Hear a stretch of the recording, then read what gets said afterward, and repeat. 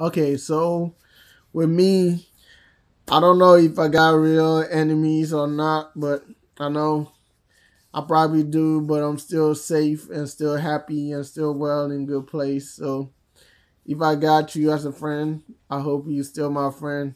So would your enemies be my enemies? I still gotta protect and, and help out if I can, and do still stay friends and to do stuff, do the stuff fight a battle, do the friendship missions, and protect each other and help each other out, do all the stuff that we got to do.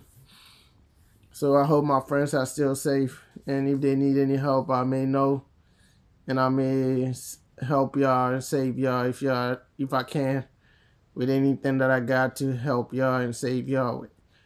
All right, I'm working at that. Okay, God bless. Thanks.